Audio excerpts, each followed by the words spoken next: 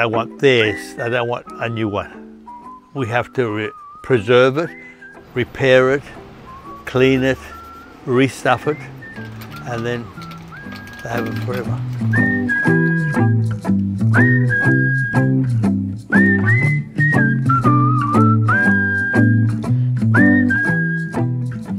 Georgiou has repaired more than 60,000 doors and teddies in the past five decades. He runs Australia's last professional door repair facility. Every door brought to him undergoes a comprehensive inspection, cleaning, repaint, and repair process to ensure it's restored to its former glory. I don't know the word no, and I can't spell the word can't. If someone came in, they, they uh, wanted something repaired, I couldn't say no to them.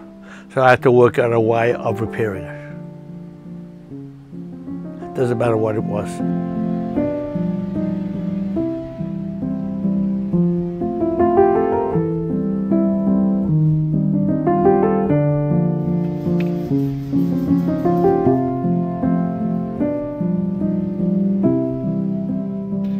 To the owners of these beloved toys, preservation holds far more significance than repair. They remember the scratch on it, they remember this, and they remember that on it. And they expect it to be, you know, and you can't touch some, some things.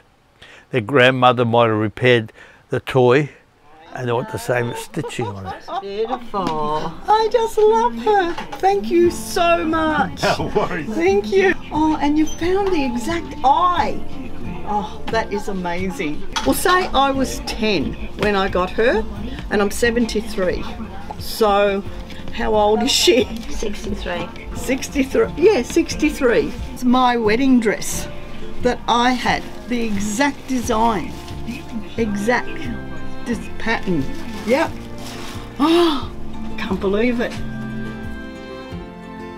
Unfortunately, the modern ones, they're harder because they're not meant to be repaired. But that the manufacturers forget the child gets attached to that doll, that toy, and it doesn't matter. Uh, They, they, they want that repaired, not, nothing new.